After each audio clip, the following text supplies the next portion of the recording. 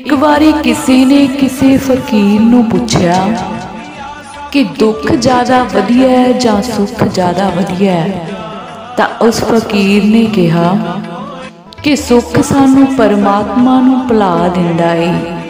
ਸੁੱਖ ਵਿੱਚ ਅਸੀਂ ਪਰਮਾਤਮਾ ਦਾ ਨਾਮ ਨਹੀਂ ਜਪਦੇ। ਦੁੱਖ ਜਦੋਂ ਆਉਂਦਾ ਏ, ਉਹ ਪਰਮਾਤਮਾ ਨੂੰ ਹਮੇਸ਼ਾ ਯਾਦ ਕਰਾਉਂਦਾ ਰਹਿੰਦਾ ਏ।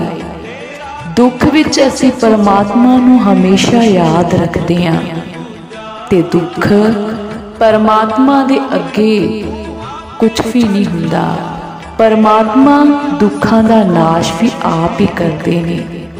ਇਸ ਲਈ ਸੁੱਖ ਵਿੱਚ ਅਸੀਂ ਪਰਮਾਤਮਾ ਨੂੰ ਭੁੱਲ ਜਾਂਦੇ ਹਾਂ ਤੇ ਦੁੱਖ ਪਰਮਾਤਮਾ ਨੂੰ ਹਮੇਸ਼ਾ ਯਾਦ ਕਰਾਉਂਦਾ ਰਹਿੰਦਾ ਏ। ਸੁੱਖ ਨਾਲੋਂ ਦੁੱਖ ਜ਼ਿਆਦਾ ਵਧੀਆ ਏ, ਜਿਹੜਾ ਸਾਨੂੰ ਪਰਮਾਤਮਾ ਦੇ ਨਾਲ ਹਮੇਸ਼ਾ ਜੋੜ ਕੇ ਰੱਖਦਾ ਏ। ਧੰਨ ਧੰਨ ਸ੍ਰੀ ਗੁਰੂ ਰਾਮਦਾਸ ਜੀ ਮਹਾਰਾਜ।